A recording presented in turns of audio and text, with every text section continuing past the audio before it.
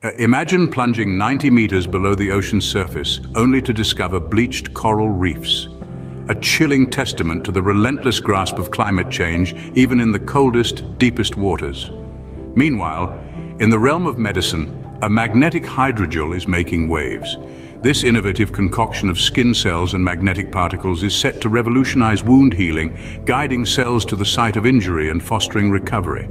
In medical imaging, diamond quantum sensors are promising to enhance MRI scans, offering unprecedented resolution. In the microscopic battlefield between bacteria and viruses, viruses have been found to deploy RNA decoys, tricking bacteria into self-destruction. Lastly, a glimmer of hope for those battling glioblastoma. An engineered virus is showing potential as an immune therapy, targeting and eliminating cancer cells while rallying the immune system. The battle continues, and science remains our most potent weapon.